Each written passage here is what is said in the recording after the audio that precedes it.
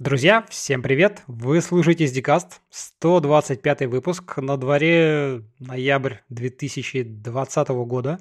С вами, как обычно, в этой виртуальной студии я, Кейс Даймон, и сегодня у меня в гостях Антон Виноградов, руководитель фронтенд разработки Сбер Devices. Антон, привет! Привет! Да, давно мы с тобой не виделись, не слышались. Э, я вот еще за кадром вспоминал, как мы тусили когда-то, не знаю, сколько там лет, 10 назад, плюс-минус, на Moscow JS, вот это вот в те времена. Да, вот, а было дело, да. Сейчас ты видишь уже вот там вообще в Сбер Devices. Давай расскажи немножко про себя, как ты давно и чем занимаешься, и как дошел до такой жизни. Окей, обычно все интересное начинается, кажется, где-то в районе альфа-лаборатории. Есть э, странная история, только я вообще попадал в IT. Давай, я... давай, расскажи, это интересно. А, в общем, это было больше, чем 10 лет назад, э, и я вообще начинал с C-Sharp разработчика. Я делал CRM-систему внутри одной компании, такая внутренняя совсем система. Э, там ничего такого суперинтересного не было. Потом я учился по видосикам, как писать на Ruby, и ушел в итоге разработчиком на Ruby on Rails в стартап. Тогда было модно делать телемедицину и всякое такое. Вот у нас был похожий стартап. Там я переквалифицировался через какое-то время во фронтенд, оттуда уже попал в альфа-лабораторию. Тогда это было очень круто, это было такое инновационное подразделение, которое делало такие цифровые продукты для супербольшого банка. Так никто никогда не делал. И все строилось с нуля. У нас там был модный офис э, с рисунками на стенах, прям open space. Такое раньше было только у таких э, больших контор, которые только про технологии. Э, но тогда это было у нас, и это вселяло надежду. Я туда пришел вообще первым фронтенд-разработчиком, вот, не было ни одного. И, и вообще меня пригласили туда сидеть э, на встречах с бизнесом и рассказывать, что какую-то задачу действительно можно сделать э, в тот момент, когда разработчики говорили, что нельзя. Очень странная была затея, вот. но она недолго длилась, и вся история была там в том, чтобы большой банк, вот в те времена все интернет-банки, они жили на коробках, то есть какие-то купленные были вещи там за рубежом, и просто стояли, работали как есть. Это накладывало свои ограничения, поэтому, собственно, все интернет-банки в те времена были примерно одинаковыми по функциональности. Э, в общем, была история большая про глобальный передел, раздел, чтобы отделить там фронтенд, можно было быстро двигаться, делать фичи и все такое. Uh-huh. Вот, там э, как-то я проработал э, в Альфа-лаборатории, по-моему, два с чем-то года, по-моему, где-то в районе этого. Мы вот из ничего построили несколько команд, которые прям по скраму честно работали э, и делали фронтенд штуки, и в том числе для юрлиц, и для физиков. Тогда же появлялся этот новый большой сайт там, с большими премьерами, что вот Альфа первая все такое модное сделала.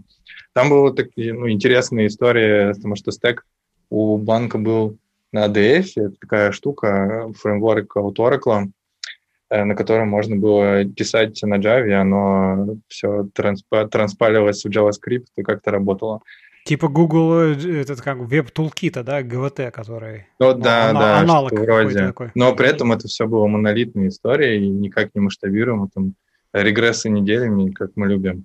Ну вот, и все это ну, распилили на маленькие продукты, в том числе тогда же появлялся Alpha Mobile, не знаю, многие помнят, тогда был Sense, это такой альтернативный банк, э, условно умный, который понимал, в какой момент тебе нужно там за что-то платить по твоим предыдущим транзакциям.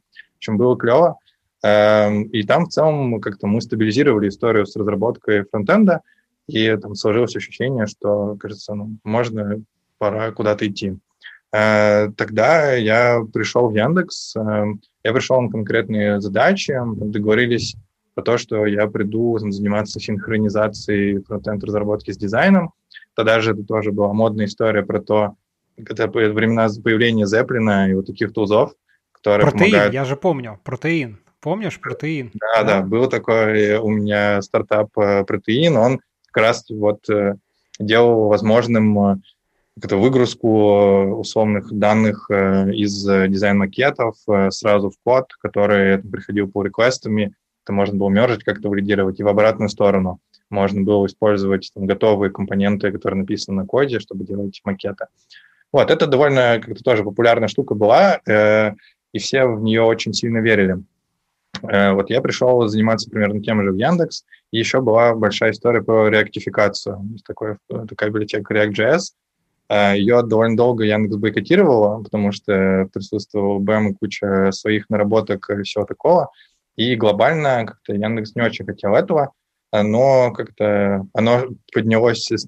Разработчики хотели писать на React.js, и в целом React.js довольно хорошо спроектированный. И, в общем, было решение придумать, как это можно синтегрировать э, в текущее состояние Яндекс Поиска. Я пришел работать в поиск, и как это я как раз э, занимался тем, чтобы подружить. Тогда это была версия React 15, и у нее были прям большие проблемы с производительностью на серверах, которые нельзя было э, как-то купить железом. Это нужно было исследовать. Там была история про а, как-то историю про то, чтобы использовать э, индексовый шаблонизатор XGST на сервере, генерировать верстку, на которой можно смаунтить потом React на клиенте, и тогда мы выигрываем везде. Вот, пока мы это делали, вышел React 16, э, у которого уже не было таких проблем. Это довольно странно. Ну и хорошо, наверное, потому что это мы смогли полноценно использовать э, уже готовое. Вот, все началось, э, кажется, такое прям интересное в Яндексе с появления команды архитектуры. Мы организовали в поиске отдельную команду, которая занимается архитектурой поиска в целом, фронтенд архитектуры, э, того, как оно работает на, на серверной части, которая генерирует разметку, и потом в браузере. История поиска, она интересна тем, что это довольно мощный большой проект э, с большой историей, больше 10 лет его пишут люди, там очень много разработчиков, э, которые там активно контрибьютят, там больше 70 человек, а вообще контрибьюторов там в районе 300 с чем-то, которые регулярно что-то пишут, там больше полумиллиона строк кода разной давности, и э, там, ну, как-то и сама вариативность выдачи поисковой, она очень большая, потом под разные запросы, специальные колдунщики, которые тебе показывают какую-то информацию в разном виде. И э, вот мы прорабатывали историю про то, как же мы затащим э, React в такой большой проект, чтобы как-то от этого выиграть. Эм, довольно долгая история. Мы кто воевали с руководством, ну не воевали, потому что технологии ради технологии никому не интересно. Ну, мы понятно, искали... да. Бизнес-цели надо преследовать, это понятно, да. Да, да, вот. Мы искали в этом какой-то понятный денежный профит, э, еще какой-либо профит, там, скорость разработки. И нашли. Вот мы все это согласовали и побежали. Вот. Так и... чем, чем, чем взяли это? Чем подкупили в итоге руководство, убедили?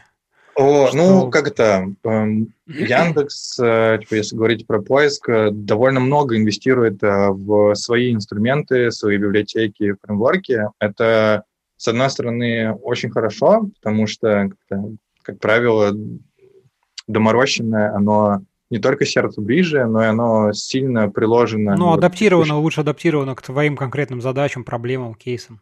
Да, но поскольку мы живем все в реальном мире, люди, которые это разрабатывали, э, когда-то они меняются, уходят, э, или что-то идет э, не так, как мы хотели, экспертиза теряется, и на поддержку таких вот базовых инструментов всегда нужны отдельные люди, которые этим занимаются. Когда мы переходим на плечи какого-то другого гиганта, там, условно, Facebook, который инвестирует в развитие React, мы, условно, часть этой разработки освобождаем для продуктовых задач, и это хорошо. Э, Слушай, а, хорошо, а вот а, тут же наверняка ведь э, со стороны руководства были такие мысли, ну хорошо, типа у нас есть ресурсы, мы же можем сами, а вот сейчас э, переедем на React, а Facebook возьмет и скажет, а давайте у нас все теперь кардинально меняем или еще что-нибудь. Наверняка ведь такие мысли были, то есть ведь опаска-то есть какая-то вот, ну, downside, да, этих, так сказать, обратная сторона медали. Ну да, э, ну и кроме этого есть еще история, что если там есть э, как-то условные баги, да, какие-то архитектурные проблемы, которые мы не можем победить, потому что не мы авторы кода. Понятное опасение, но на тот момент э, React было уже, по-моему, 5 лет, и довольно стабильно развивался. У него есть всегда понятный roadmap, есть система RFC, где ты можешь воздействовать на развитие и на этот самый roadmap мы туда контрибьютили, заводили им туда ишь, и в целом это работает хорошо. Эм, ребята в open source сделали хорошую историю, которая понятна, куда движется. Мы тогда, когда начинали, смотрели пристально на roadmap, и как-то он нас очень устраивал. Нам нравилось то, что должно быть в следующих версиях React. Mm-hmm. Вот, ну, примерно так и убеждали. Тут как-то ничего не сделаешь. Ты в любом случае от кого-то зависишь, нельзя как-то все делать самому. Это нормально. От той же нады мы точно так же зависим. И в общем, оно случилось. Ну вот, мы там потратили кучу времени на исследование того, как это сделать, потому что весь проект там нельзя э, перевести разом, придумывали всякие креативные способы, как это будет работать.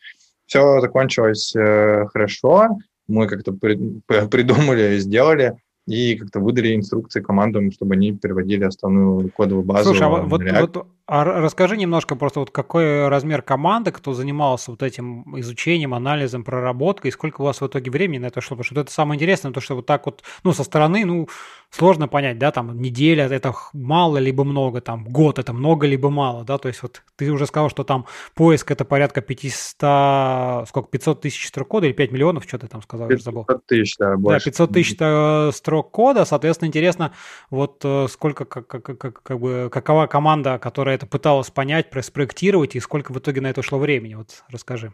Кажется, на то, чтобы понять, как это вообще в принципе сделать, у нас ушло в районе года. Мы как-то сначала придумали и, э, и пошли в эксперименты.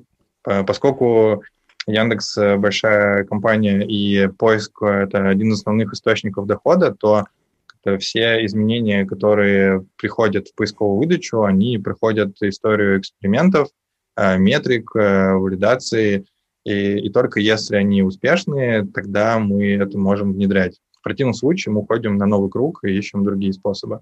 Вот, мы в таком состоянии прожили довольно долго, там основные проблемы были с перформансом, вот, и ну, с потерями, какими-то багами. Э, короче, это была история разных подходов, которые мы тестировали в продакшене, пока не нашли тот самый нужный. Мне кажется, на это ушел год. Угу. А команда, размер команды сколько вот вы этим? В разное время это там от э, двух до четырех человек. Это небольшая команда, которая... Но за, тут важно только в том, что небольшая не значит э, как-то плохая. Там были еще истории того, что мы туда сложили всех высокогрядовых ребят, вот, и все такие, типа, нельзя так делать, вот, высокогрядовые должны работать рядом э, с ребятами помладше и помогать им. Вот, но тогда это было оправдано, и мы как-то full time только и этим занимались. Э, это такая вот не всегда благодарная работа, э, но тем не менее. Да, в масштабах э, такого проекта, мне кажется, год — это не то чтобы много, потому что в целом как-то разные фичи, все двигаются не так быстро, но с большими проектами всегда так. Не-не, но тут есть еще один важный момент, что как бы нельзя просто так там задеплоить, а это должно было там пройти некоторые этапы, проверки, что действительно что понятно, все прекрасно понимают, что как бы там особенно в те годы как бы поиск это ну, основной источник такой, один из ключевых вообще продуктов, проектов компании, да, и как бы если у тебя там проси, начинает проседать перформанс, но как бы это сразу деградация на всем, то есть тут... Да, там же была история, то раньше скорость эм, рендера шаблонов не была как-то продуктовой метрикой, то есть она не считалась э, такой метрикой, которая влияет э, на деньги. Но экспериментальным путем было доказано, что все действительно так, и скорость тащит за собой и продуктовые метрики в том числе. Кстати, деградация на серверной скорости влияет на наш доход.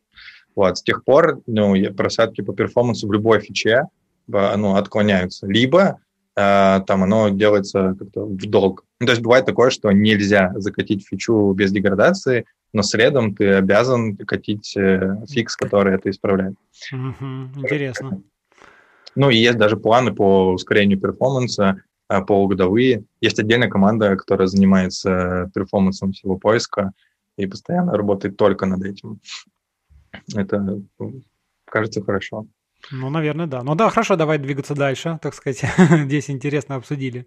Ну вот, как бы там э, наметился понятный план, то есть э, когда вся такая архитектурная, экспериментальная работа была сделана, стало как-то ясно, что теперь нужно ходить, там, условно, по командам, рассказывать им, учить и все такое. Там переезд на React был совмещен с переездом на TypeScript, что дополнил, добавило проблем, вот, и э, в производительности в том числе, только уже не в продакшене, а на, на билд-фермах, потому что это не бесплатно компилировать код, и Тут тоже было интересно. Ну, в общем, как-то, когда все пришло к какой-то методологической работе, вот, я, ну, стало понятно, что надо двигаться куда-то дальше, и тогда я перешел руководить фронтендом Яндекс.Видео, там я делал примерно то же самое, что и в поиске, только в масштабах Яндекс Видео. Вот, э, типа мы там также благополучно переезжали на React TypeScript, э, и следом э, появилась Яндекс станция и умный дом. Тогда это было супер новое и очень интересно, и я пошел туда делать фронтенд для умных устройств. Это звучит довольно странно. Зачем на умных устройствах делать фронтенд? Вот. Но у веб-технологии есть очевидный профит, которого э, как-то нативный код решен в терминах э, умных устройств. Это динамическое изменение интерфейса э, в любой момент времени. Вот, без перевыкаток, прошивок и всего такого. Вот, это был такой э, большой эксперимент. Там, когда я пришел, Яндекс-станция, она изначально, в общем-то, позиционировалась как умная колонка, которая умеет тебе с помощью голоса включать музыку, там, отвечать на какие-то вопросы. Не более того, это там, колонка с голосовым интерфейсом. Вот. Э, но за время, пока я там работал, все изменилось, и Яндекс-станция стала не просто умной колонкой, но и умной колонкой, которую можно подключить к телевизору, вот, и получить там какой-нибудь видеострим, посмотреть кино, вот, э, там, кино, сходить в кинопоиск э, и так далее. Э, и когда появляется история про интерфейс, то как бы, возникает уже очень много вопросов, как это все вообще в принципе делать, как это обновлять и все такое. Ну вот, тогда мы как-то экспериментировали над тем, чтобы сделать на вебе интерфейс для Яндекс-станции. Вот. Mm-hmm. А, там, ну, короче, да, там был главный экран, типа, если сейчас подключить Яндекс-станцию к интерфейсу, то, в смысле, к телевизору, то там будет интерфейс на вебе. Профит, как я уже говорил, он такой, что если что-то ломается в интерфейсе, мы это выкатываем сразу. Вот. В общем случае все такие девайсы работают нативе, есть операционная система, как правило, это Android или его форк, э, в котором что-то поправлено, добавлены свои интерфейсы. Но Android э, выгоден тем, что в Android ребята э, довольно долго работали над тем, чтобы эта операционка могла работать на очень широком круге девайсов, там с кучей разных интерфейсов по взаимодействию с камерой, звуком и так далее. И профит от ее использования очень понятный, э, и, как правило, туда просто добавляется пачка интерфейсов для взаимодействия с чем-то своим, в частности, например, с голосовым ассистентом. Вот. Э, э, ну и как-то, поскольку все было сделано именно так, то как-то любое изменение в визуальном интерфейсе – это перевыкатка прошивки целиком. Прошивка, многие думают, что прошивка – это какая-то маленькая штука. На самом деле это очень развесистая история, в ней очень много компонентов э, и модулей, э, все их э, пишут, как правило, разные люди. Это вот такой монолит, который можно выкатить только целиком, нельзя доставить отдельный кусочек отдельно на девайс. Вот. Отдельный челлендж синхронно обновить пару сотен тысяч этих девайсов удаленно в разных уголках страны вот, или мира. Вот, поэтому как-то тут э, понятен э, э, выбор в сторону веб-технологий и в целом как-то не только по скорости обновления, но и разработки, потому что, как правило, скорость разработки в вебе на ну, выше и специалистов больше, и это как-то хорошая ставка. Ну, как бы да, тут можно, можно, скажем так, на довольно стабильном каком-то системном а, софте, компоненте, да, условно, который отвечает там за операционку, вполне себе регулярно и успешно выкатывать обновления там и интерфейсы, и новые фичи, и всякое такое. То есть, как бы это, мне кажется, уже к, это, к этому потихонечку пришли, да. Я еще вспоминаю, э, знаешь, времена, когда там сет-то бокса, там Амина ТВ, там браузер Presto, я писал там с пульта тоже этот браузер с супер просто уродским JavaScript каким-то интерфейсом, чтобы эти кнопочки ловить. У тебя там какие-то айфреймы, боже, это, это, конечно, было безумно. Сейчас, сейчас, сейчас я понимаю, сейчас у тебя нормальный, так сказать, там, не знаю, либо там V8, либо что-нибудь еще, пожалуйста, рендери, что хочешь, так сказать, у тебя все, красиво. Да, э, это, ну, так кажется. А потом, э, когда ты приходишь на устройство, устройства, как правило, поскольку они небольшие, в них нельзя запихнуть э, кучу оперативки, в них, как правило, не такие мощные процессоры, и, опять же, как правило, основная мощность отдается не под интерфейс, ее занимает часть общей мощности занимает сама операционка, и очень большую часть занимают локальные споттеры, например, в терминах вот голосовых интерфейсов, то локальные споттеры, которые реагируют и слушают на постоянной основе э, голосовой поток, это вообще не бесплатно для э, как-то производительности. И понятно, что это первично, потому что это должно работать стабильно и всегда. Это значит, что из общего пула производительности э, у тебя остается маленькая часть под интерфейс, в который ты должен аккуратненько вписаться на современных технологиях. Это отдельный челлендж, который был довольно интересным. Вот, насколько я помню, в первой версии Яндекс-станции э, тогда оперативки всего было гигабайт, э, и это вообще немного. любой, любой телефон, который сейчас есть, он сильно лучше в этом плане, на нем работает все сильно стабильнее. Вот, э, в плане веба, когда ты ходишь э, по браузеру. Ну вот, э, тут как-то мы сильно-сильно работали над э, производительностью, чтобы э, у тебя веб-интерфейс выглядел так же хорошо, как и нативный, чтобы пользователи не ощущали там каких-то кривых переходов. Когда у тебя есть э, и нативный интерфейс, и веб-интерфейс одновременно, то вот такой переход, он, как правило, очень сильно заметен.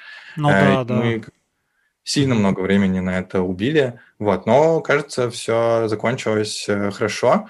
Вот, мы как-то поняли, как надо, и все, все пошло. Но, тем не менее, писали там ну, на реакте точно так же, и как-то все было хорошо. Не было такого, что нужно было да, писать какой-то специальный JavaScript, чтобы все работало как надо.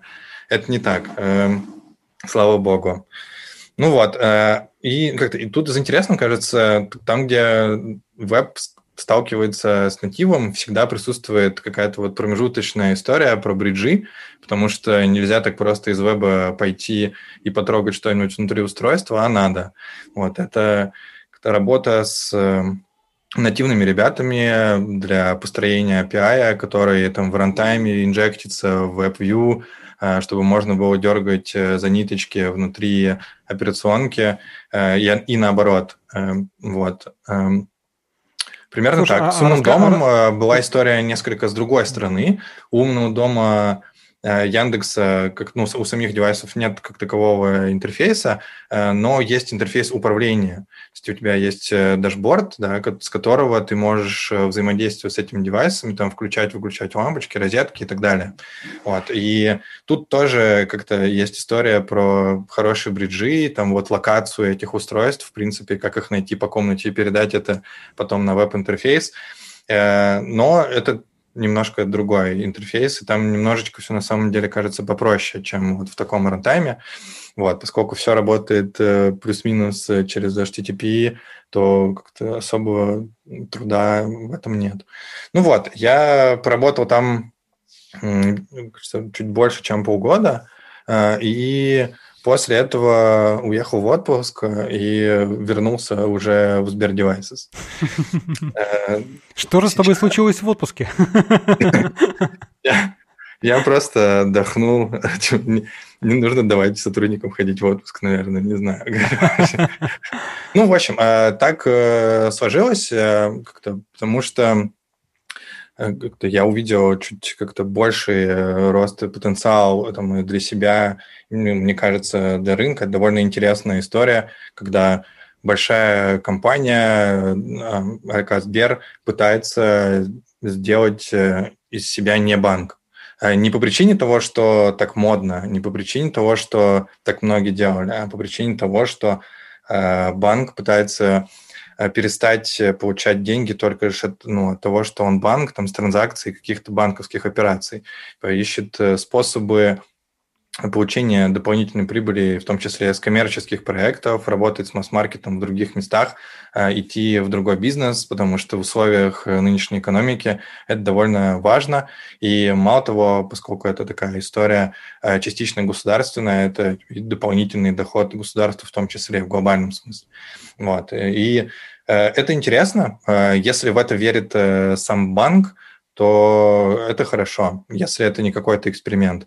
Вот, я решил, что стоит попробовать, э, и Сбер Devices – то самое э, технологическое подразделение, которое занимается производством э, цифровых технологий, которые позволяют банку зарабатывать другие деньги и экономить внутри на каких-то автоматизациях рутинных процессов. Вот. И основной продукт Сбер Devices – это, конечно, голосовой ассистент э, семейства Салют. Их целых три ассистента, которые позволяют э, это, пользователям найти для себя наиболее комфортный режим э, общения, и это клево. Вот. Ну, мне понравилось еще позиционирование ну, как-то производство самого ассистента не, не как интертеймента. То есть, когда у тебя есть голосовой ассистент, типа, если смотреть на все, на все, что есть на рынке, то обычно это штука, которая позволяет тебе голосом э, включить музыку или там послушать видео, э, наоборот, включить видео, послушать музыку. Вот, ну, сделать какие-то вещи, которые в целом как-то и, и так решаются. Да, это прикольно, да, это работает, но какого-то прикладного смысла это не несет. То есть это не помогает тебе. То есть это не голосовой помощник, это голосовое управление. Между этим есть тонкая грань когда как-то помощник должен тебе помогать э, решать какую-то рутину дома или где-то, неважно. И тут э, как-то у нас э, теперь развивается позиция такая, что мы делаем голосового помощника, который должен помогать тебе решать твои проблемы, которые тебе делать, ну, которые тебе решать не хочется. И их действительно можно автоматизировать. Вот. Такое предложение звучало очень интересным, поэтому я здесь. Понятно. Вот. Коротко, наверное, так. Ну, нормально получилось, да, коротко. На полчасика мы с тобой. Хорошо, но э, давай, в основном мы сегодня хотели поговорить э, такой основным контекстом, это что-то типа Internet of Things, умные вот эти девайсы. Вот ты уже немножко, даже немножко, а немножко про это рассказывал, и в контексте там Яндекс станции и Сбер Devices. Давай, наверное, попробуем углубиться, и вот ну, так, первый, чтобы такой вопрос, может быть, немножко начать издалека. Да, что такое вот для тебя умный дом? Потому что, ну, все говорят этот термин, там, и вот, вот умный дом, да, вот это смарт-хом, но а, интересно, что у каждого, наверное, немножко свой взгляд на, на это, и у тебя тоже, наверное, тем более в контексте твоего там опыта и, так сказать, каких-то экспертизы, свое видение этого термина. Мне кажется, в самом термине есть проблема. То есть э, он для меня умный дом на самом деле комфортный дом. Знаешь, где тебе как-то вот как бывает, знаешь, типа ты сходил в ванную, вышел из ванны, сел на диван, забыл свет выключить, думаешь, блин, идешь, э, выключаешь свет.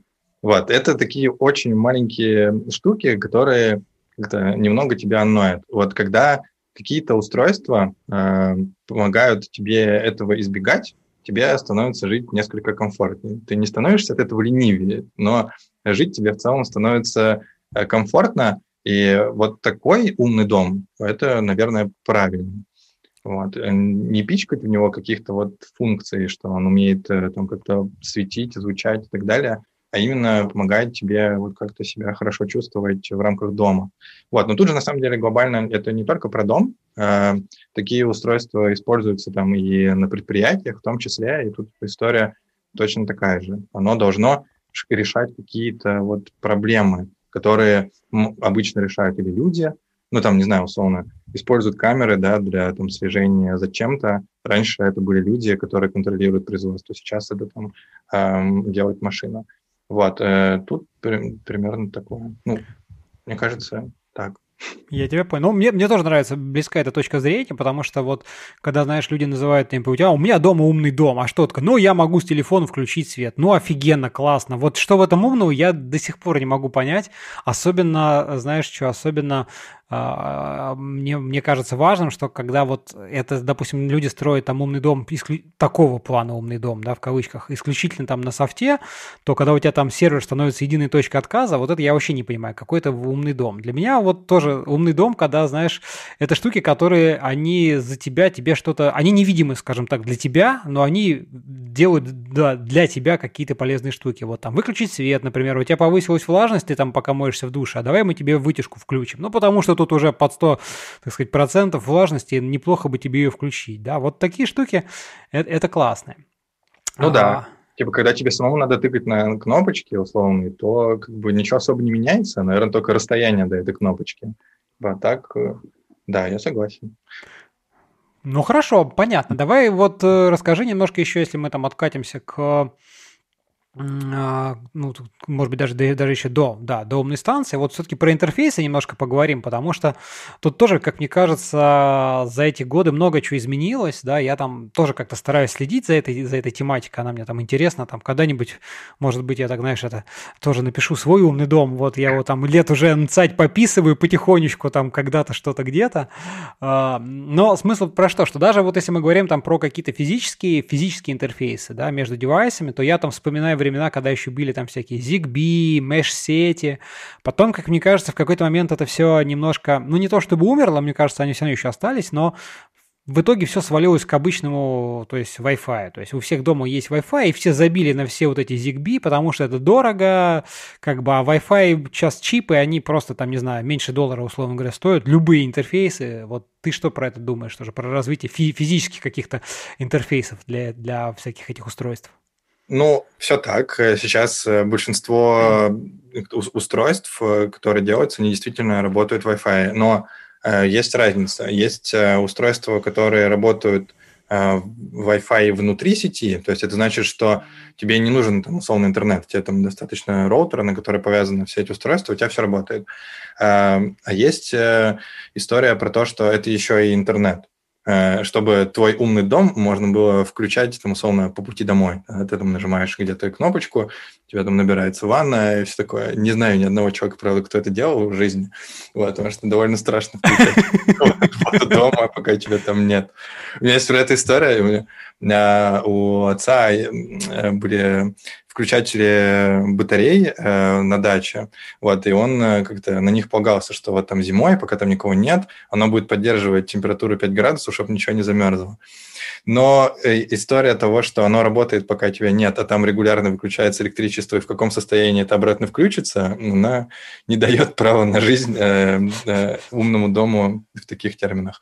Ну, короче, да, э, я, ну, Wi-Fi, на самом деле, я не считаю, что это плохо. Wi-Fi довольно стабильный, если он не связан с интернетом, потому что если все это идет через внешние сети, это, как правило, задержки, и я видел, э, ты покупаешь себе вот умную лампочку где-нибудь, которая идет э, через китайские сервера, ты нажимаешь кнопочку «включить свет» и ждешь. И вот ты реально ждешь, пока она включится, и это очень такой негативный опыт, который, ну, не улучшает качество жизни. Хочется, чтобы все просто работало хорошо и быстро. Wi-Fi это позволяет делать. Если это внутри сети, то у тебя нет особых помех и преград а это хорошо. Кажется, это нормальная ветвь развития. Но я, я вот тоже, честно говоря, немножко и параноик с точки зрения, что это все уходит непонятно куда, в какие облака, как оно как бы... Но это же хороший повод как бы понимать вообще, человек там дома, не дома, то есть тут и безопасность, вопросы безопасности довольно сильно встают, а я вот там особенно каким-то китайским там ну, не настолько готов доверять а, полностью вообще информацию о том, кто я, где я, что я там когда включаю и всякое такое.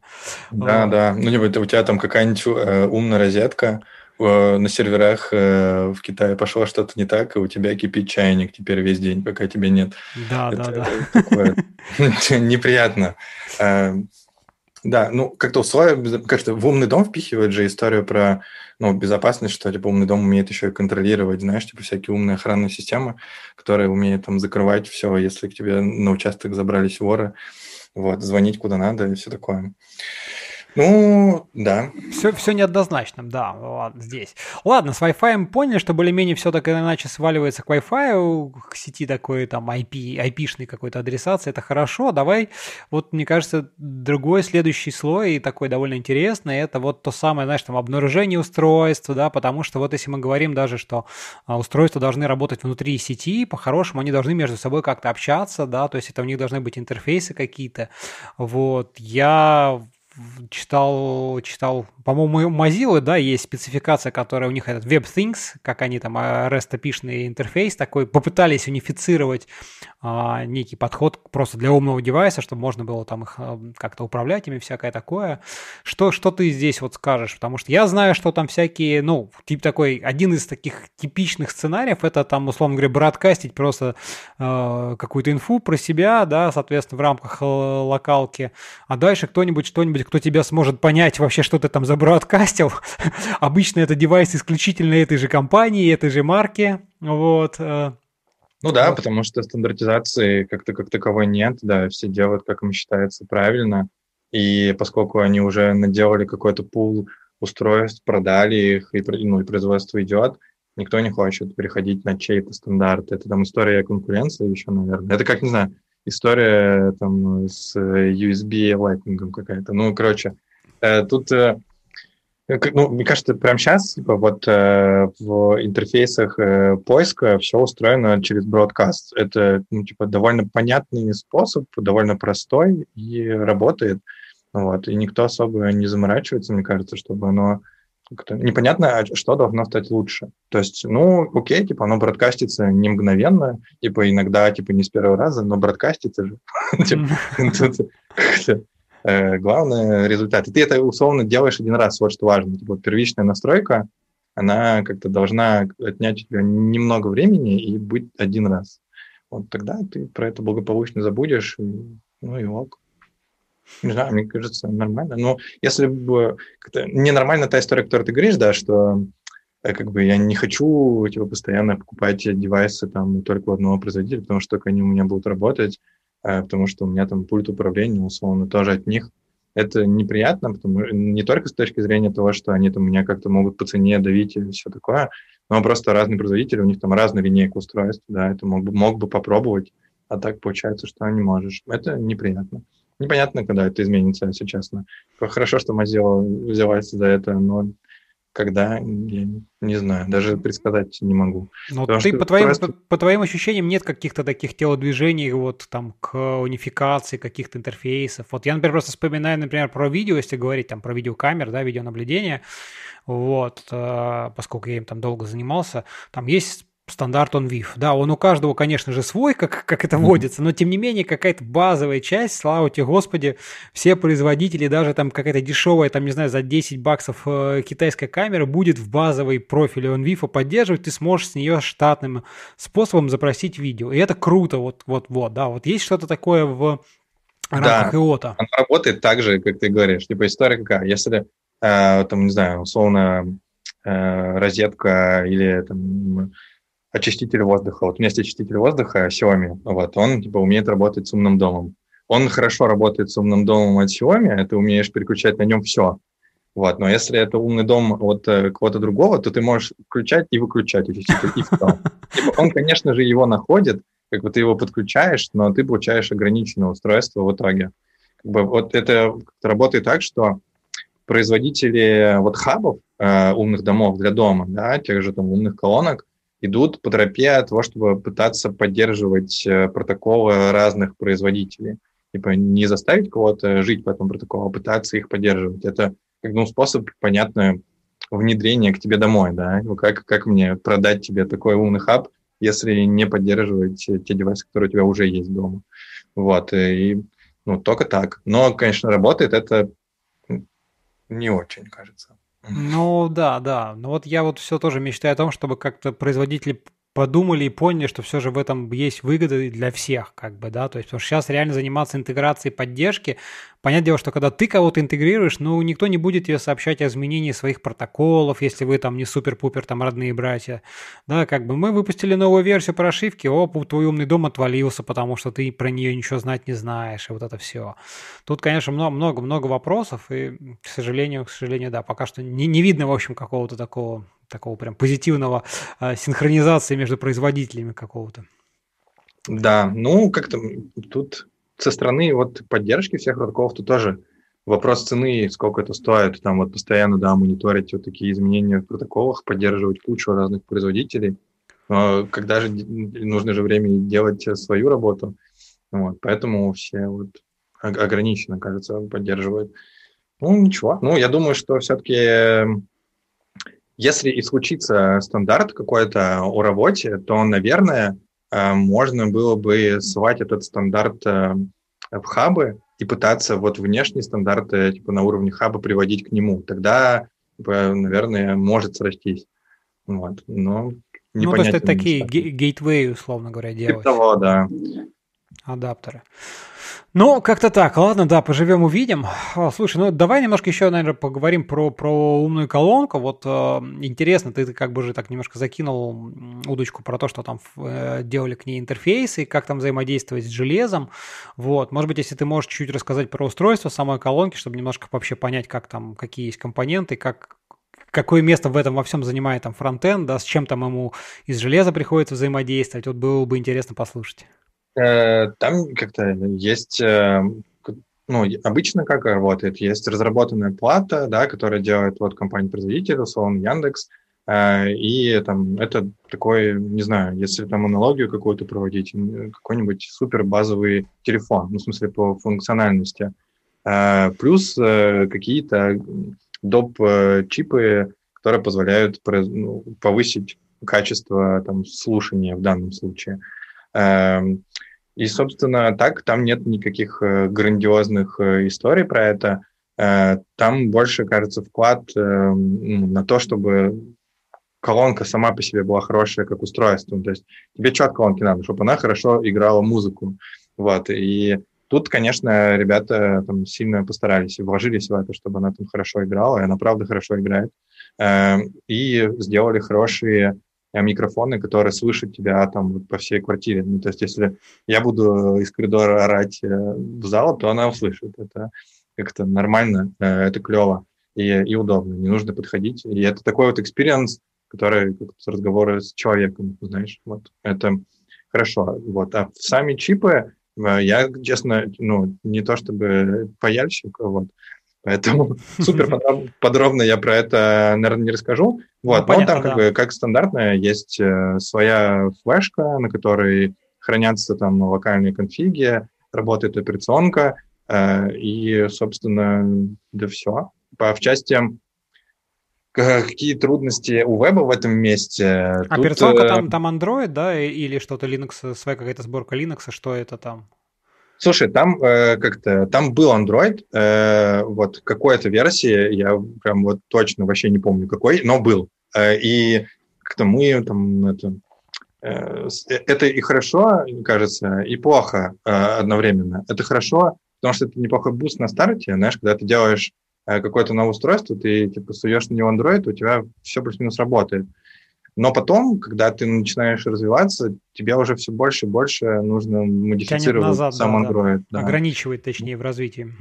Куда ребята придут э, в итоге, э, я не знаю. Вот, но как-то кажется понятным, что идти нужно в Linux историю, потому что это чуть более низкоуровневое управление, и возможности по кастомизации сильно больше, и возможности у тебя есть э, модульности, модульного обновления, то ты не можешь не целиком обновить да, прошивку, а ты можешь типа, реально э, катать э, пакеты и ставить на Linux, и у тебя типа, сильно улучшится э, dev experience и э, как-то обновление у людей.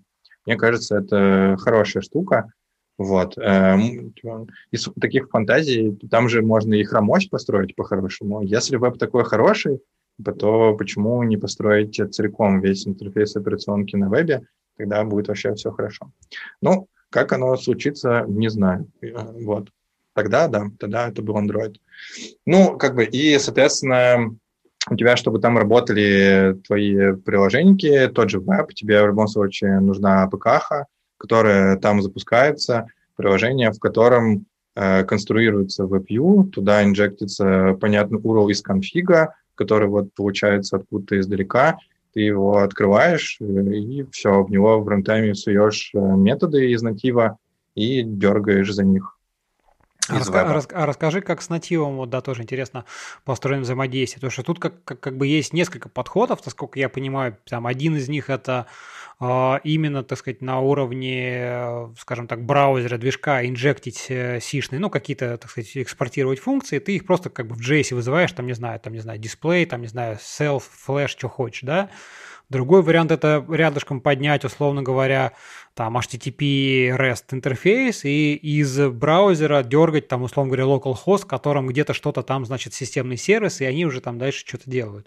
Бывает и такое, и такое. Э, обычно это не HTTP, а веб-сокеты. Ну, либо веб-сокеты, да, конечно же. Да, да. Поднимается соединение, да, и ты взаимодействуешь с операционкой. Это не очень удобно, вот, поэтому это первый вариант. Вот, ну, типа, это работает э, как-то а, натив прям как-то всовывает э, тебе в runtime V8 э, код, который экзекьютится в JS, и у тебя ну, есть нативный биндинг прям. Э, и тут э, как-то для JS это выглядит э, типа вообще прозрачно, но вот у тебя просто глобально появляются методы, с которыми ты можешь взаимодействовать. Ну, да, объекты, методы. Угу. Да, и и, собственно, все. Единственная, кажется, проблема тут в том, что это со стороны натива сложно контролировать. То есть натив, когда открывает WebView и вот случается inject, то как-то дальше, что происходит, натив не знает. Вот, э, потому что это такая вот черная коробка, в которой пользователь что-то делает, э, и там есть, э, ну, мы долго весело ловили как-то крыши в Vue, вот, потому что там заканчивается память, потому что течет JS э, где-то, вот, а как-то сама система, когда в случае, когда что-то идет не так, она привыкла от этого избавляться, вот, и, как правило, это WebView, вот, и у тебя просто исчезает WebView, это, конечно... Кончилось и все, да, и привет. Ага. Да, ну, типа, оно отдает э, как-то процессорную мощность и оперативку более приоритетным процессам, э, и тут это надо учиться контролировать. В этом а плане, э, кажется, нативу не так весело было, как нам. Вот, ну, Слушай, а вот тут как раз-таки интересно, да, расскажи, потому что вот там память ограничена, да, если у тебя там обычный view, ну, условно говоря, со стороны JS, как бы, да, вот из своей песочницы, как э, какие-то, вот расскажи, интересные такие у вас э, челленджи были по тому, как там, не знаю, пытаться не превысить память, которая там есть, которую ты не знаешь, что она есть или ее нет, да?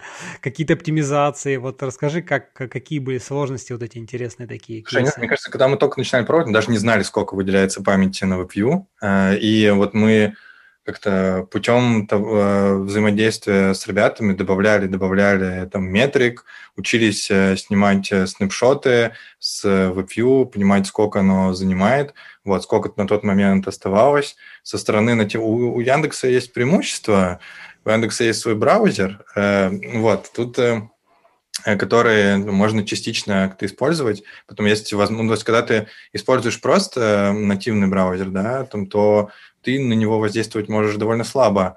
Вот. Э, в случае с браузером, со своим, ты можешь дорабатывать какие-то штуки. Ребята нам выдавали э, ну, в том числе метрики FPS, типа мы за этим следили, что оно там двигается нормально.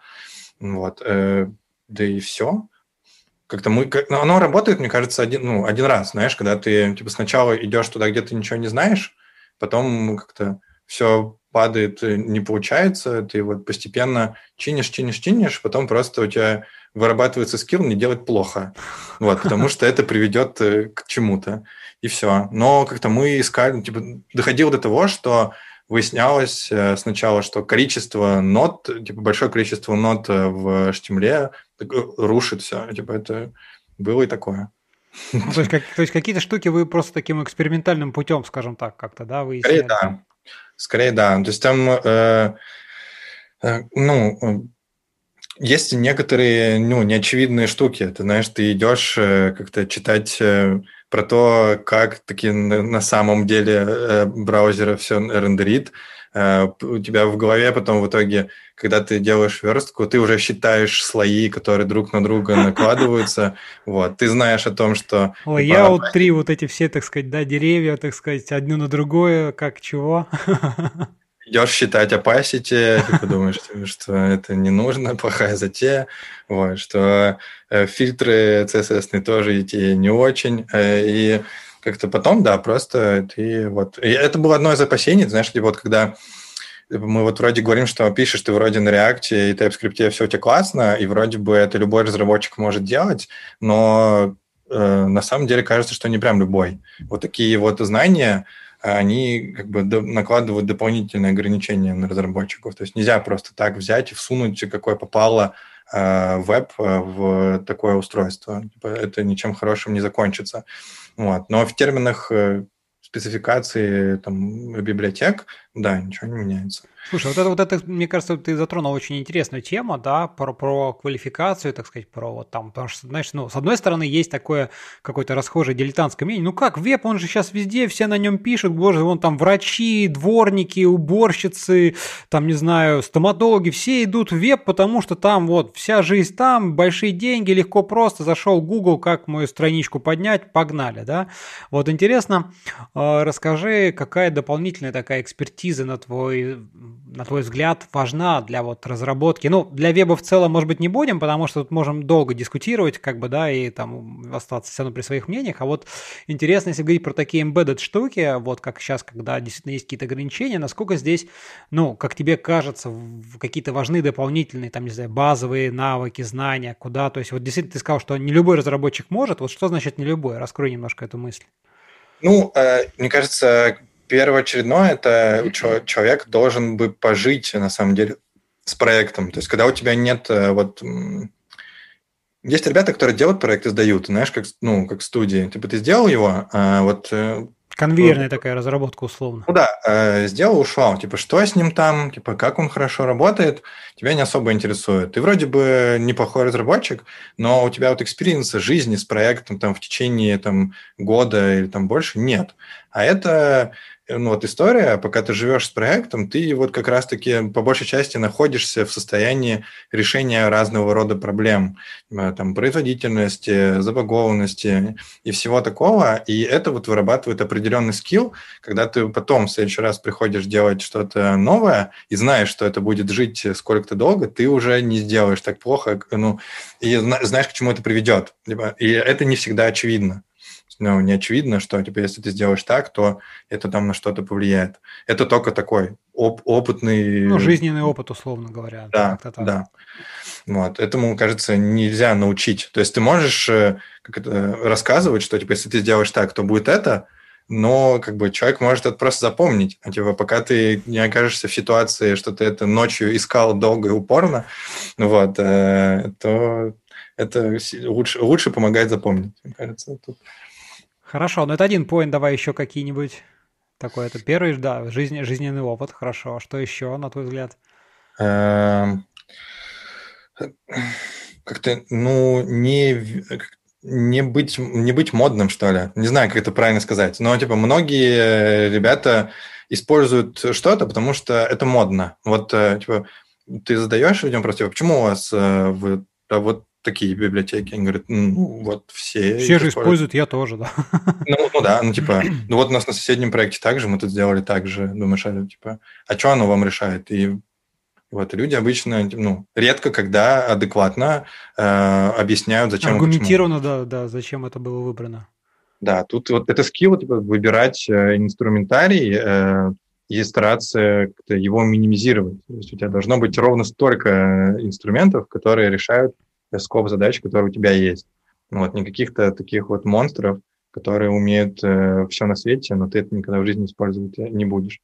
Вот, это такой дополнительный скилл. Не знаю, как его обрести, э, но, не знаю, быть, трезво смотреть на, на Твиттер, типа, не, не устанавливать все оттуда подряд.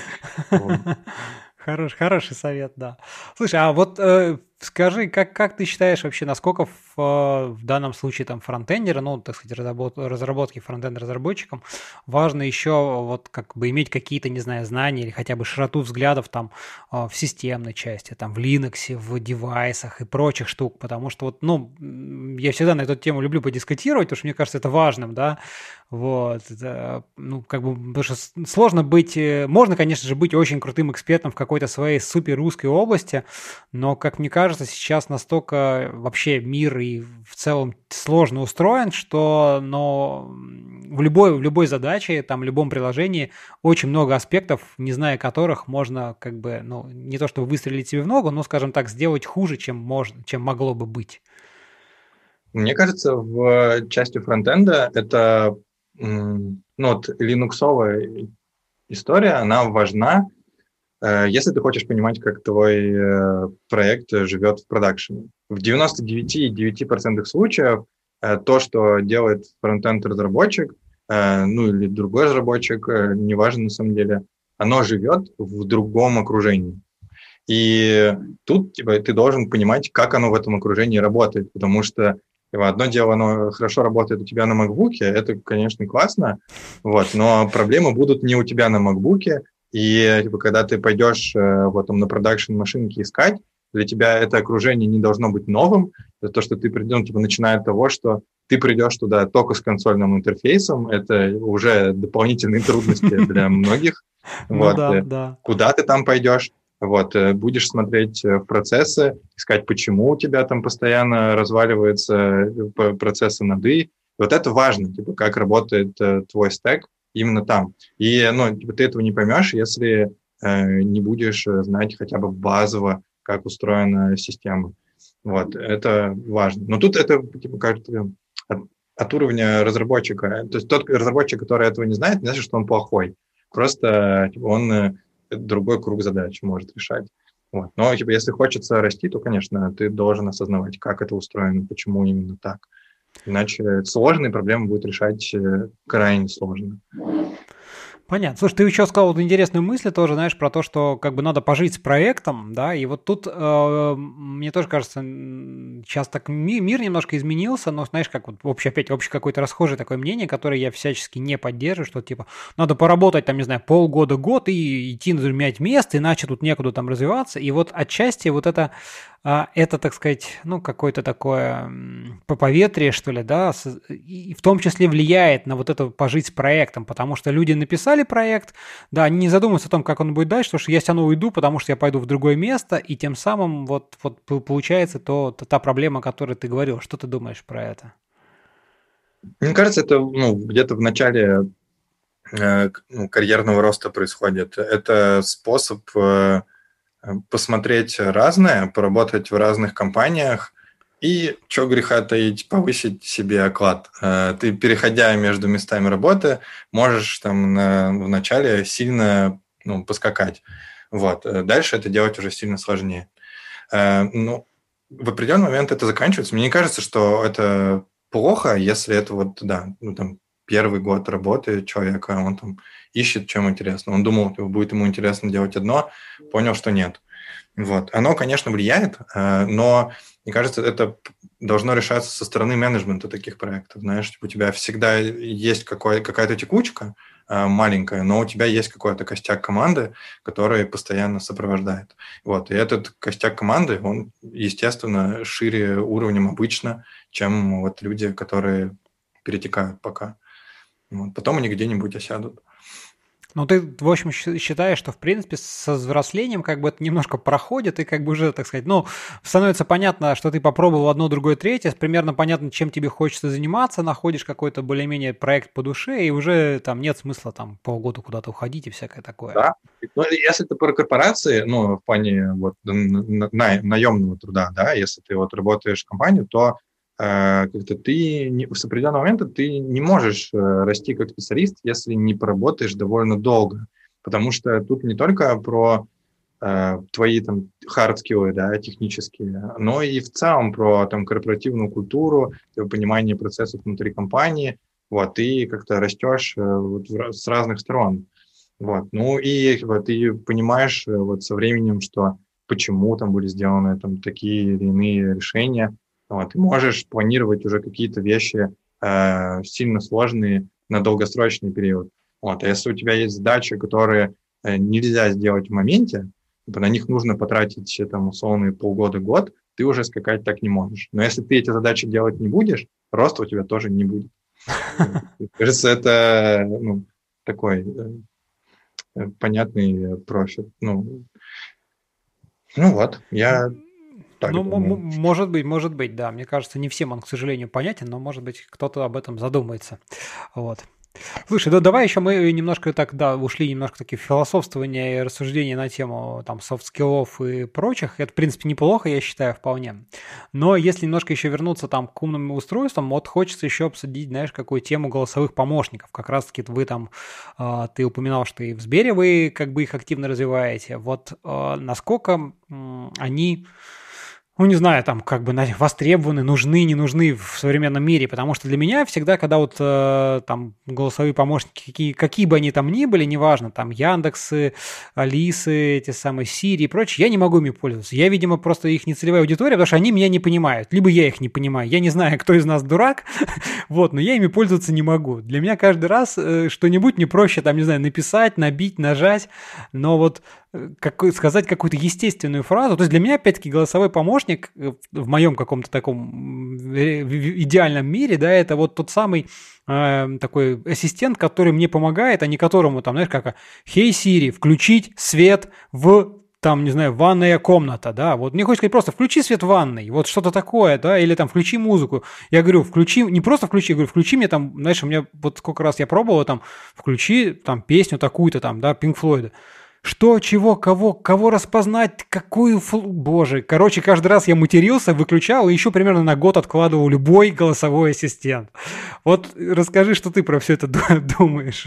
Мне кажется, тут э, несколько есть аспектов. Э, кажется, главное это то, что люди к этому не привыкли. Это довольно новая штука в целом в мире, и э, ну, нужно время. Нужно время, чтобы оно а, научилась тебя понимать, б, люди привыкли к тому, что оно в принципе существует.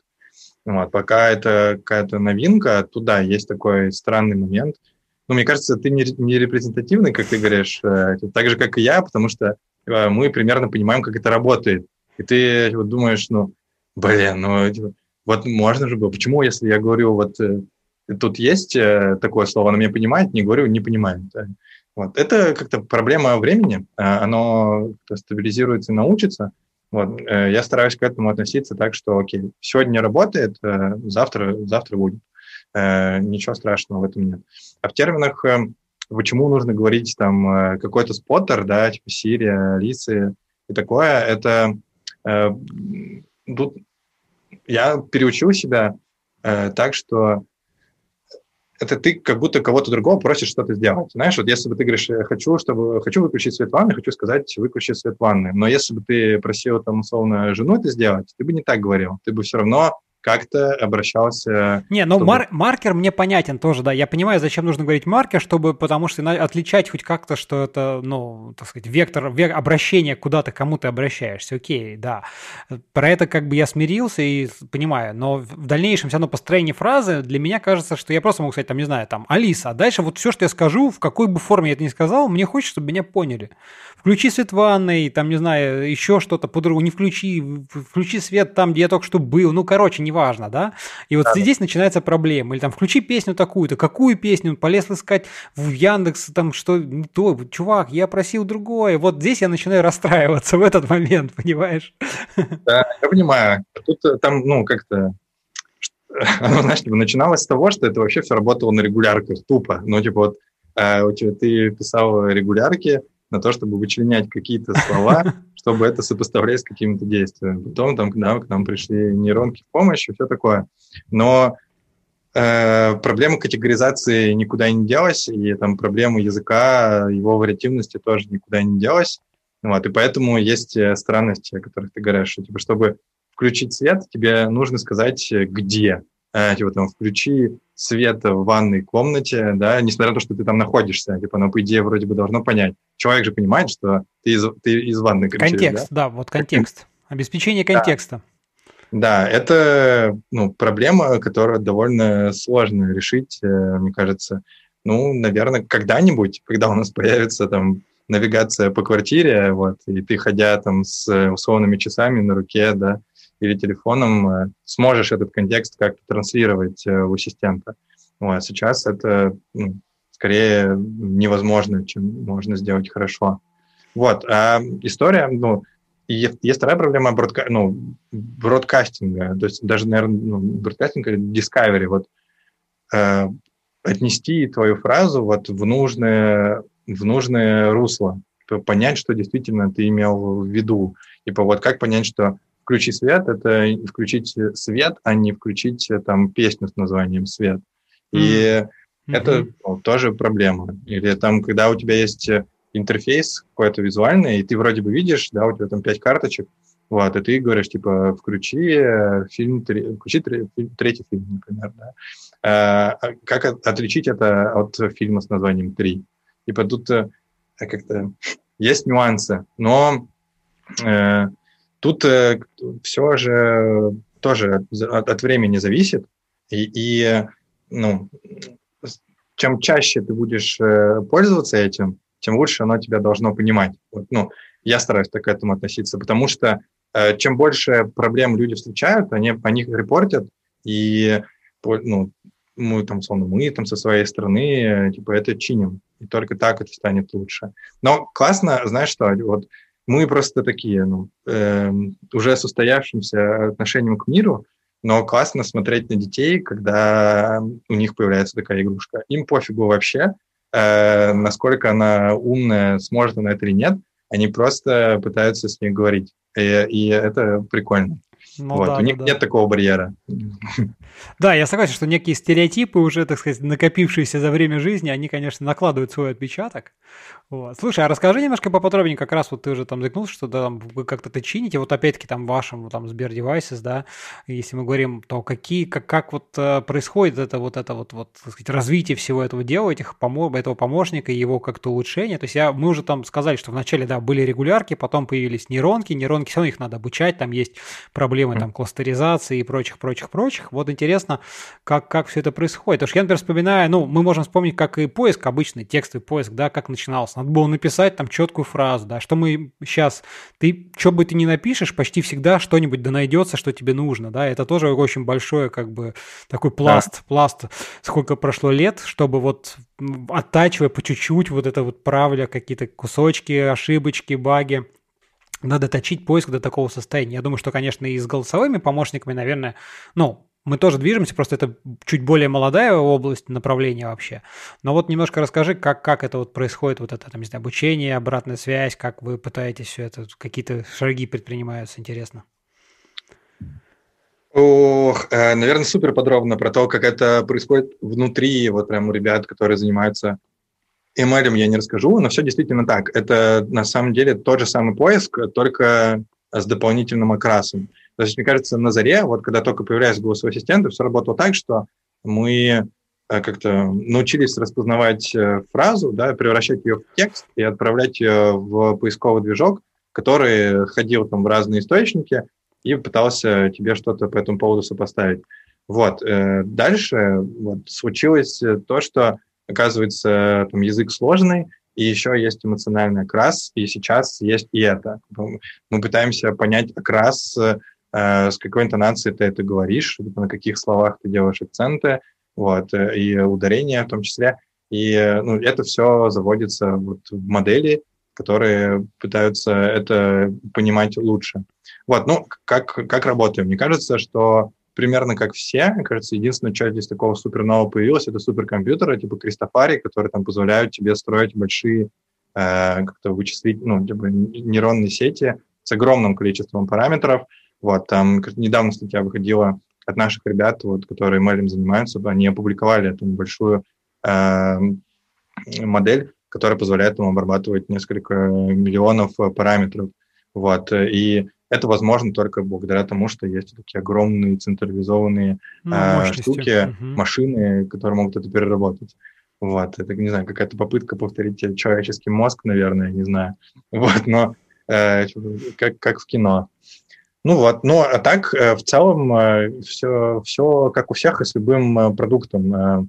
Мы делаем, выкатываем это на людей, получаем фидбэк от людей и идем это чинить, как-то исправлять креативными способами. Тут, мне кажется, в этом месте ничего не меняется. То есть мы там можем искать не только источники от людей, да, искать там какие-то записи, ну, распознавать, там, не знаю, видеодорожки, там, голосовые дорожки, типа, обучать модели на большем количестве данных, нежели просто на взаимодействие с людьми. Но в целом это подход ровно такой. Типа, работает, э, хорошо, не работает, чиним, каждый день оно становится лучше. Кажется, тут сильно моднее ничего не придумаешь.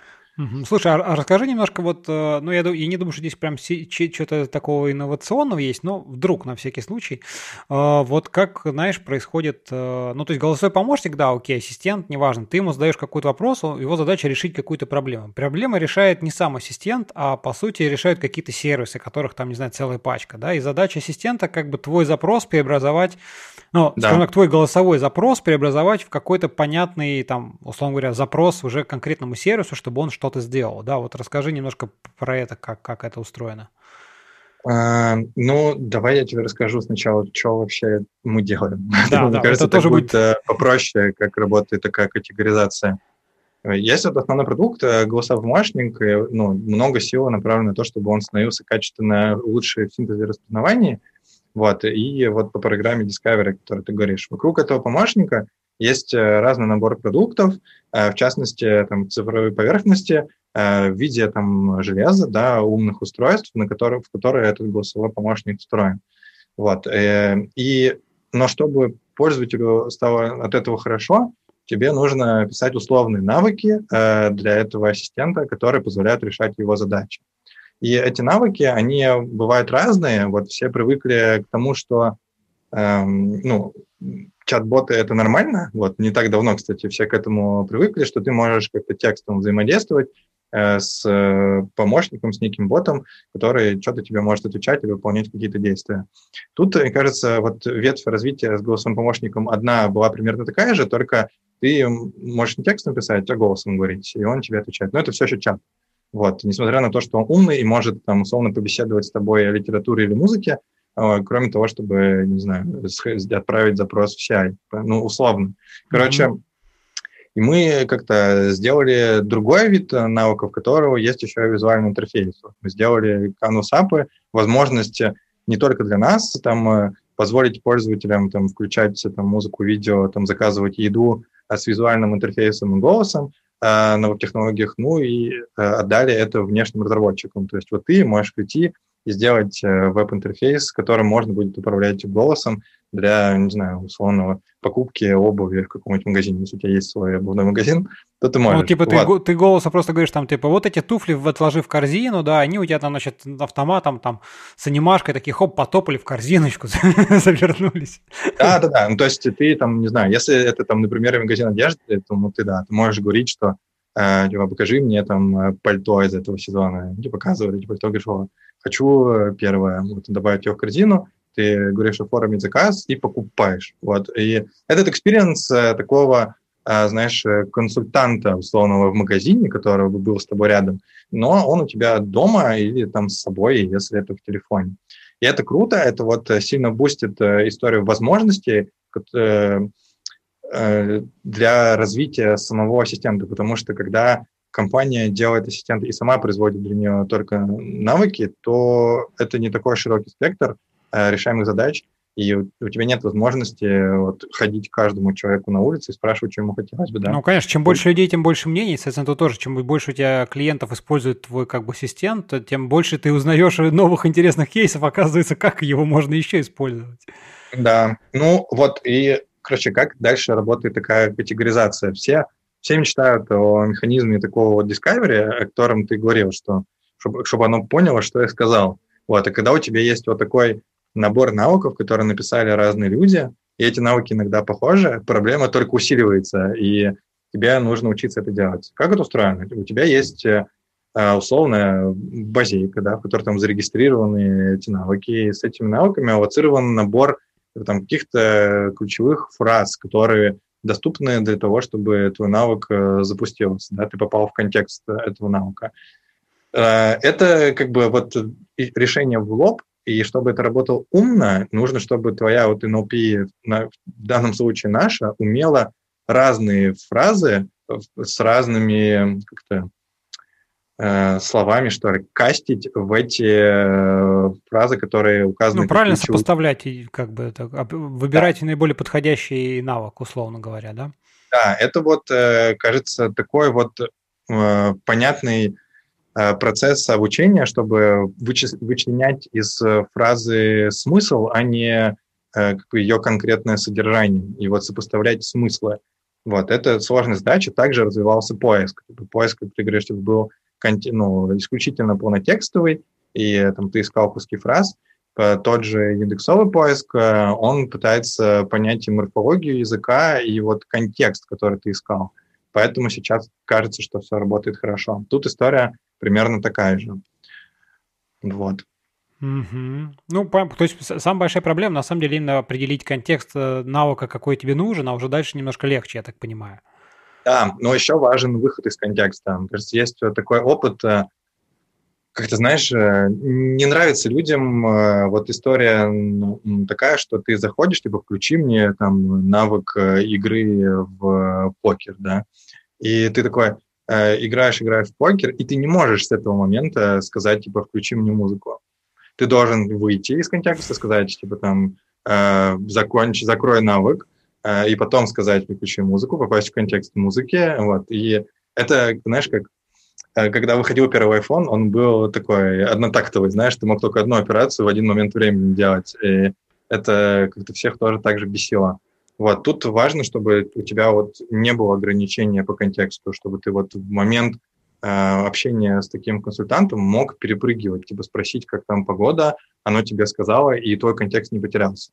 Вот, мы очень сильно э, работаем над этим, и это, это кажется, работает. Сейчас это доступно там для э, пачки базовых навыков, ну, то есть, условно, находясь в контексте такой игры или ну, любого другого навыка, можешь спрашивать погоду, можешь спрашивать там еще какие-то штуки, и это работает клево. Это приятно. Вот когда ты знаешь, типа, как сделать э, э, человеку хорошо. Это сделать человеку плохо, а потом так, как было. Вот, и Да-да-да. Это, твой экспириенс э, общения с людьми. То есть ты вроде бы привык, потом тебе сказали, что так нельзя, тебе нужно каждому поворачиваться отдельно, вот, и только ага. с ним разговаривать. Потом тебе сказали, нет, теперь можно со всеми говорить. Вот. И это такая классная штука, которая, кажется, сильно-сильно вот отличает э, нас на рынке голосовых ассистентов. Понятно, слушай, ну круто, круто, интересно. Э, давай, наверное, потихонечку уже, да, мы так с тобой нормально говорим, будем закругляться, подумаем, подискутируем, так сказать, не знаю, пофантазируем, пофилософствуем на тему того вообще, куда катится вся эта индустрия. Вот как бы, ну, понятно, куда развиваются там голосовые ассистенты, это так же, как с поиском, просто они станут лучше, лучше будут понимать контексты, наверное, да, не надо будет, да, там переключать, выходить, выйти, вот это асинхронщина. А вот что еще тебе кажется вот интересного происходит? Может быть, сейчас уже какие-то новые тенденции такие ты видишь, э, или тебе кажется, куда интересно было бы двинуться этому нашему безумному миру?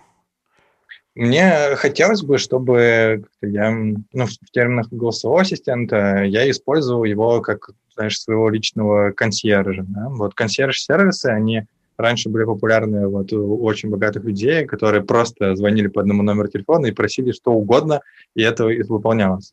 Вот, мне кажется, это то, к чему нужно стремиться. То есть там условные кейсы, там, не знаю, вот то, что уже там э, сильно близко, и мы это увидим, это вот просьбы такого рода, что типа запиши меня там в парикмахерскую, забронируй мне столик, э, и это вот то, что действительно может работать и приятно. И кажется, эм, ну, это, мне кажется, не прям вот всем надо, вот, но есть определенные, ну, люди по-разному живут, вот, э, но люди, у которых эм, мало времени, они, кажется, первыми оценят такой секретариат с которого ты можешь действительно попросить, э, и оно само случится. И ты не будешь бояться за то, что оно там где-то по пути отвалится. Либо там HTTP запрос не дошел, и никуда тебя не записали. Вот. Короче, э, мы идем вот э, в сторону такого секретаря личного, который может быть у каждого. Ну, вот. Ну и как важно расширение круга, даже где, где эти устройства есть. Сейчас это как-то такие личные устройства, типа они есть у тебя только дома. Вот не все привыкли говорить э, с ассистентом на улице, да, там вот типа стоишь в метро или просишь Сири что-нибудь сделать, это неудобно. Мне кажется, что если это будет там формат... Но, но при этом позвонить человеку, да, и что-то попросить его сделать, ты можешь. Вот. Если ты как-то будешь мочь это сделать с голосовым ассистентом, то почему нет? Вот, мне кажется, такое какое-то развитие. Вот, мне кажется, а в целом про умное устройство это, ну, их больше и больше, э, и мы никуда от этого не денемся. Интернет будет э, в каждой розетке, и это, наверное, неплохо. Э, главное, чтобы это помогало людям жить комфортно. Ну, в таких глобальных терминах. Слушай, а как, а как ты смотришь на вот всякие такие вопросы, там, не знаю, безопасности, слежки, мониторинга? Вот, э, потому что, да, девайсов становится больше, и как бы оно хорошо, конечно, когда оно приносит пользу, но, как мы понимаем, да, есть и обратная сторона. Вот ты что думаешь про нее? Ну, типа, вдруг э, люди в погонах захотят послушать, что у меня дома, и они это сделают. Э, ну, такое? Ну, и такое, например, почему нет, да, в том числе. Просто мне, мне, э, мне в целом кажется, знаешь, э, мне, мне просто в целом кажется, что как бы вот, э, ну, потому что происходит в мире, все там и государства закручивают гайки, всем хочется как можно больше контролировать всех там, не знаю, своих работников, своих подданных, своих там, не знаю, сотрудников и так далее, граждан, если говорить про страну, про правительство, да, вот, вот, ну и вообще во многих там, кстати, таких этих утопических фильмах, да, там про будущее, где там все друг друга мониторят, и все как-то в эту сторону движется, вот ты что думаешь? Ну, потому что мы айтишники, мы, понятное дело, что на это смотрим немножко со своей такой колокольни, да, не, не так, как там простые какие-то люди, которые далеки от технологий. Э, мне кажется, это ну, такое от э, позиционирования самого человека зависит. И как бы, если вот и, ну, и так боишься, да, что там кто-то про тебя что-то узнает, то ты будешь продолжать бояться, и тут, наверное, в этом ничего не изменишь. Я отношусь э, к этому так, что если бы кто-то хотел или хочет э, что-то про меня послушать, там, или какую-то информацию про меня добыть или навредить, он это сделает. Для этого не нужно развитие каких-то технологий. Это, э, я к этому отношусь не как к э, сужению моей свободы, знаешь, вот в плане privacy, а к тому, к расширению как-то своих возможностей. Вот, и стараюсь, ну, не думать про это. Либо, конечно, типа, если рассуждать, типа, это возможно. Типа, там, если органы, там, условно, захотят, они это сделают, они поднимут э, как-то и твои переписки, и вот это все, это, это все и так понятно. Мне кажется, просто, да, мы это понимаем, а обычные люди не очень понимают, э, ну, или не хотят понимать. Им, вернее, это как Ща. Неведение. Как... Хорошо жить в неведении. Ну, не знаю, но это как магия, знаешь. Эм, пока ты не понимаешь, как это работает, э, для тебя это магия. Вот, и неизвестно, что там э, за этим вообще стоит. Э, вот. Куда этот голос отправляется, кто его слушает, зачем. Вот. И ты как бы ну, не, не доверяешь заведомо этому. Мне кажется, к этому нужно проще относиться. Это ровно так, такой же интерфейс, как пульт от телевизора, да, условно тебе же не страшно включать телевизор дома. Ну, это вроде бы все нормально у тебя. Тебе же не страшно играть там в PlayStation Move, а там камера есть тоже, и она на тебя смотрит. Вот, можно и действия твои записывать, в принципе, значит, ты ходишь по квартире. Ну, типа, тут, э, кажется, важно аналогии, потому что вроде бы, когда это, знаешь, авоцировано с играми, ни у кого никаких нет вопросов. Это развлекательная штука, типа, да кому там надо, вот. Но если разобраться, то еще как надо. Вот. Но Вот. А когда это касается твоей личной жизни, э, то тут, конечно, возникают вопросы, многие по этому поводу переживают, поэтому тема privacy, она очень популярна э, ну, в Штатах, да, и в Европе, и к нам это, конечно же, идет. Вот, и все будут как-то стараться, ну, технологические компании обеспечивать эти требования privacy. Э, ну, это неплохо. Главное, чтобы это не влияло как-то не знаю, что важно. Важно, чтобы вот бренды технические вот получили такое доверие э, от людей, что я знаю, что вот все же верят, что Apple как-то сильно парится из-за privacy. Вот почему-то такое мнение у компании Apple получилось заложить в мозг людей, что у тебя все, что у тебя в айфоне, это типа условно безопасно. А, вот. И Кажется, не важно, что они потом там знают про тебя все, когда ты там куда что нажимаешь и что они с этими данными потом делают, но как бы мнение, вот маркетологи, я уж не знаю, или кто там, они, конечно, в этом пиар, я уж не знаю, молодцы, да, они сумели такое, такое привить, в общем-то. Да, мне кажется, вот если бы получилось распространить вот такое впечатление на другие технологические компании, то да. Мне кажется, мы от этого еще больше страдаем, потому что мы как-то условно причастны немного к государству, и тут вообще куча вопросов. Mm-hmm. Что вы вообще делаете, ребята? Э, но, не знаю, мне кажется, на это тоже надо немного времени, чтобы просто люди попривыкли, что ничего плохого вроде не происходит. Вот. Ну, как-то так, что, в принципе, да, неплохо. Давай, наверное, на этом потихонечку, так сказать, закругляться. Если что-то в конце, может быть, есть желание сказать интересного, умного, там, советом поделиться с нашими слушателями, будет неплохо. Не стесняйтесь говорить э, с электронными людьми. Это, это, это наше благо, и нет ничего в этом плохого. И на вас будут иногда смотреть странно, но это выйдет со временем. Хорошо, ладно, давай тогда на этой такой, да, ноте поставим точку. Спасибо тебе большое, что пришел в гости, было довольно интересно послушать. Надеюсь, нашим слушателям тоже. Вот. Спасибо тебе. Да, друзья, вам спасибо, что нас слушали. Пишите ваши замечания, комментарии, предложения, пожелания. Нам обязательно очень важно будет их послушать, прочитать. Очень важно собирать всегда фидбэк. Если понравился подкаст, не стесняйтесь поддержать его там на Патреоне или еще где-нибудь. А, или просто даже поделиться ссылочкой друзьям или поставить там, не знаю, 5 звездочек в iTunes. Вот, э, это будет тоже замечательно. А так, всем спасибо и до новых встреч. Пока-пока.